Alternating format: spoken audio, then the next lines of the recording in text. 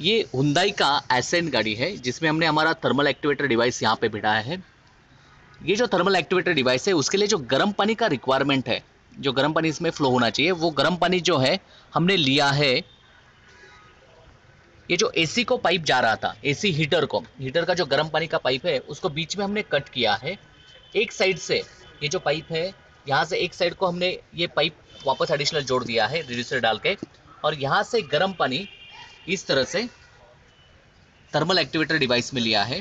और यहाँ से गर्म पानी फ्लो होके वापस जो हीटर का गर्म पानी का पाइप था, उसको हमने कनेक्ट किया है। यानी अपना थर्मल एक्टिवेटर डिवाइस जो है, उसमें सीरीज़ में बिठाए गर्म पानी इससे फ्लो होके जाएगा। ये थर्मल एक्टिवेटर डिवाइस बिठाते वक्त हमने ये जो डिवाइस बिठाया है, उसको कहीं भी बॉडी अर्थिंग नहीं होना चाहिए, क्योंकि ये ऊपर का मेटल पार्ट है। तो ये मेटल पार्ट बॉडी के साथ अर्थ नहीं होना चाहिए। इसलिए इसको तीन रबर के स्पेसर डाले हैं, ताकि ये बॉडी के साथ कनेक्ट ना हो जाए। अभी जब ये डिवाइस गर्म हो जाएगा तो उससे थर्मली एक्टिवेटेड इलेक्ट्रॉन जो निकलेंगे, ये ब्लू पाइप से निकलते हैं, और ये ब्लू पाइप से हमने यहाँ पे इंजेक्ट किए हैं। ये जो जगह है फ़िल्टर और यहाँ से जो मैनीफोल्ड है यहाँ पे जाने वाला जो हवा है उसके साथ हमने ये मिक्स करके दी